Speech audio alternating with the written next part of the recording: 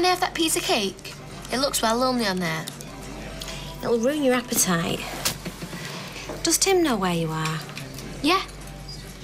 Please, we don't eat till later. How much later? Half eight, nine, What did you have last night? Takeaway. What did you talk about? Nothing. We watched a DVD. What DVD? So undercover with Miley Cyrus. Really? What happened in it? What DVD did you watch, Faye? Greatest Premiership goals. But it's not his fault. He asked if I minded. Anyway, I like football. Right. You can be having a piece of cake to be going on with.